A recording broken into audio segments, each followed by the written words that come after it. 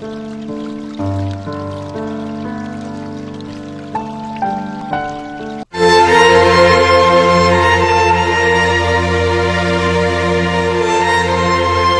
命电视台，让世界更美好。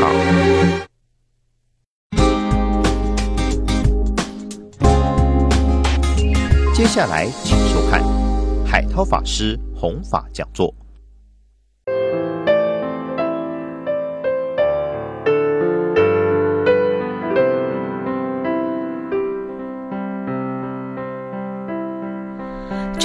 众生无边誓愿度，烦恼无尽誓愿断，法门无量誓愿学，佛道无上誓愿成。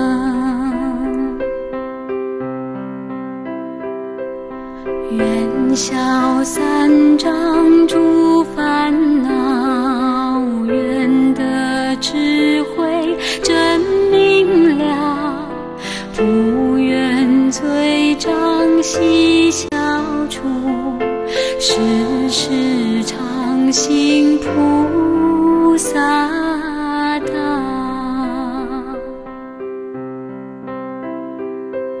时时常行菩萨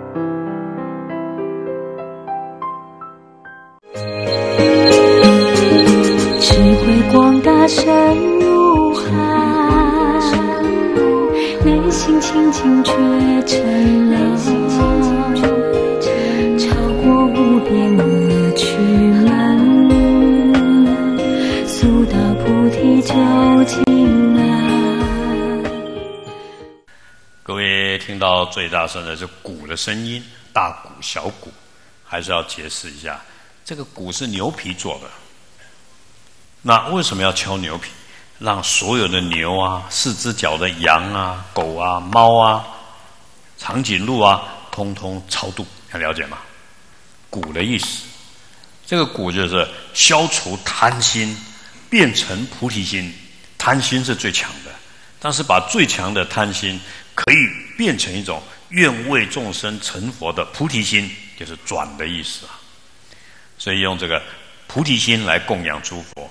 然后也让所有的动物超度啊、离苦啊。所以每一个法器，呃，每一个法器，来木鱼敲一下。这个木鱼代表什么？所有的鱼、海鲜、龙虾、螃蟹超度啊！而且木鱼这一只鱼肚子被剖开，为什么？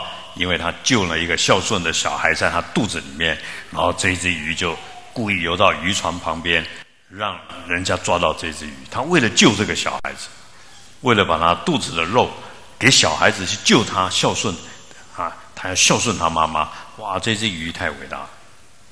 所以我各位到每个寺庙，特别大陆的寺庙，都有一只大龙鱼肚子扒开剖开的，我们把它做成木鱼，敲出来是它肚子的声音。就是希望大家都不要有伤害嗔恨心，不要生气，并且还要有无嗔无生气的大悲心。所以我们念经的时候，叩叩叩叩叩，你不管你再会念经，你没有慈悲心念经没有用，要跟着慈悲心念经，念经要给众生的。就像医生发明药，不是要申请专利发财的。现在社会变了，啊，我们发明什么最好的？都是要无私的，甚至用自己的生命奉献，愿对方得到这个药，得到快乐。所以我们在敲法器，一定要记着这个，这个叫修行。哦，如果你法器很会敲，哦，敲了可以去赚钱了，这叫感金灿，却没有一点悲心，那这个唱出来，你再会唱，超度不了众生。呃，别人听了也不高兴，天神听了还生气。你唱的好听都没用，啊！但是那有些人说，那我为什么唱的不好听？因为你常骂人呢，所以那当然唱的不好听啊。唱这个要有悲心的，啊，唱这个要为对方想的，那你自然念也好，唱也好，讲也好，都会让别人接受，都会超度众生，会改变世界的。所以我想各位，我们如果谈到修行，各位就要开始你想改变一切。但是你要帮助一切，要变改变你自己，心态要检讨。你比较嫉妒，你比较孤僻，你比较怀疑，你比较操谱，这样有些人就是爱面子。那这些心态是你生命的毒啊！要改变啊！呃，透过透过拜佛，为什么要拜？忏悔。消除骄傲，很多人都很喜欢。我赢过你，我不能输过你。啊，我要怎么样呢？打肿脸充胖子，也要赢过别人。那这个就是生命的毒素，你会伤害到你自己。做一个皇帝，不是我比你大。做一个皇帝，是我要承担所有老百姓的痛苦。老百姓没饭吃，我不吃饭。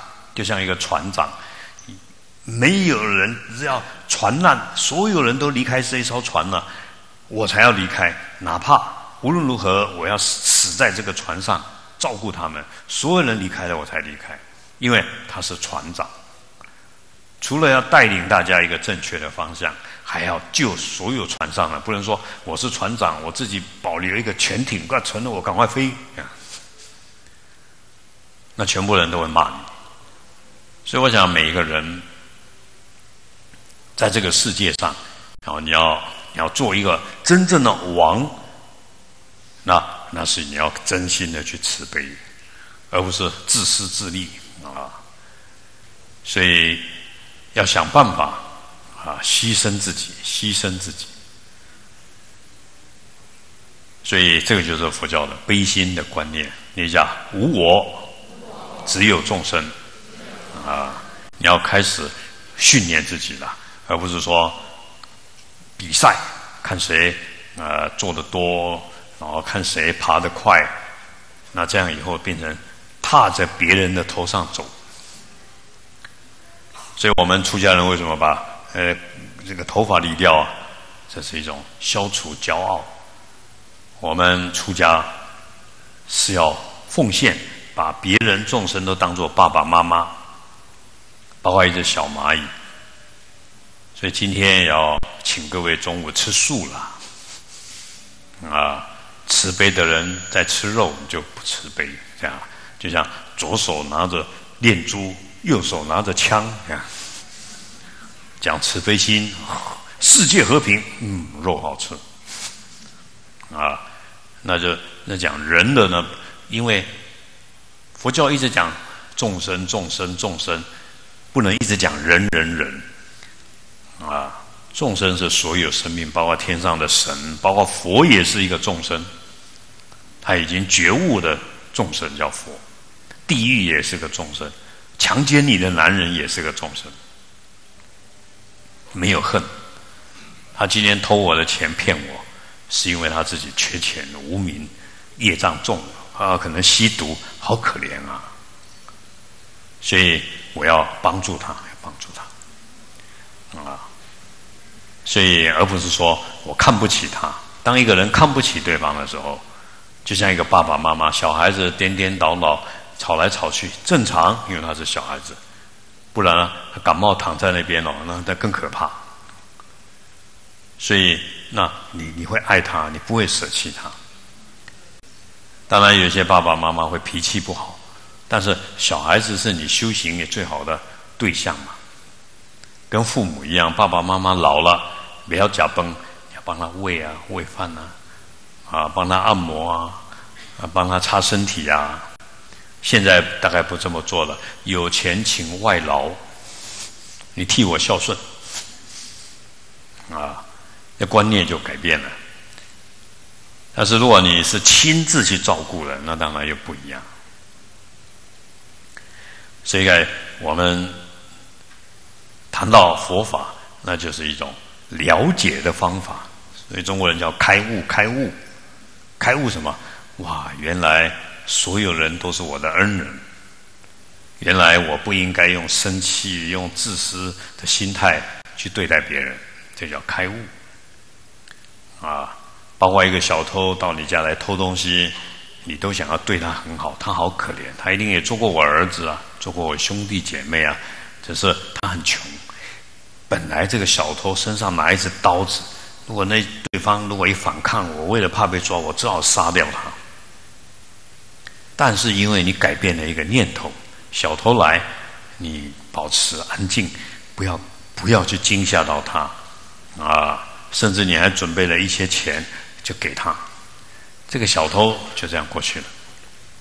他心里还想说：“哎呀，这家主人还不错。”不然他刀子拿出来，所以一个念头本来要发生命案的，结果呢，就变成一个结善缘。你也损失一点点，但是本来是你欠他的。各位永远要相信，这个人骂你一句话，一定你过去骂他一句话。这个世间没有意外巧合，任何的事情没有，一切都是因缘果报。要要相信就很困难啊！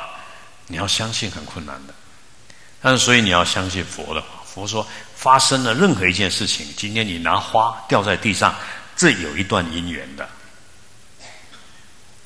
就像各位你在吃饭，突然那个饭掉了很多在在桌子上，我们佛教不捡的，为什么？不是浪费。哎呀，忘了给众生吃啊！这样啊，今天你拿一碗汤要喝，一天都要讲：哎呀，孤魂野鬼乃至祖先没得吃啊！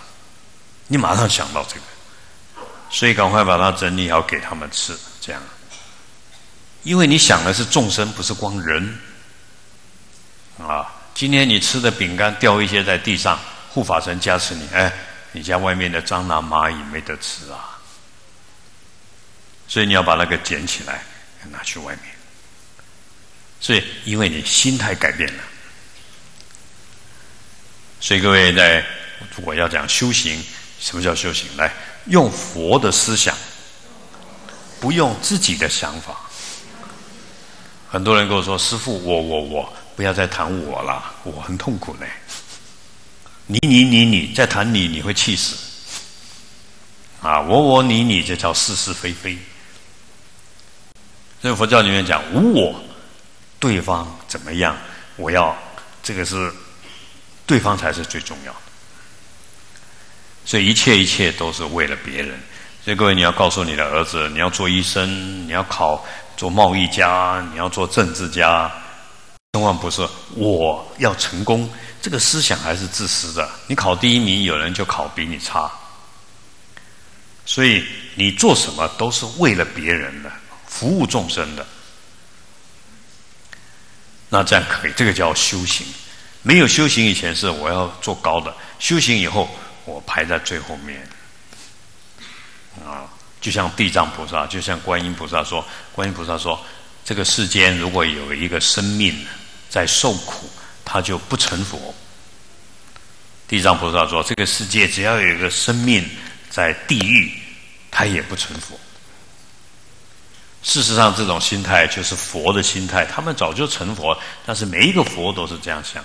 释迦牟尼佛说：“只要有一个人要下地狱受苦，我就替他受苦。我来替他受苦，希望他将来他不用受苦。”这个叫释迦牟尼佛。所以，各位，如果你第一次听佛法，这个就是佛法跟其他不一样的地方。所以佛法不排斥任何宗教，因为都希望任何宗教都能够满愿要升天的升天。所以各位，你经过立北斋公，你在拜佛，经过一个土地公，你不拜，到土地公愿所有人都得到土地公的加持，也把我的功德供养土地公。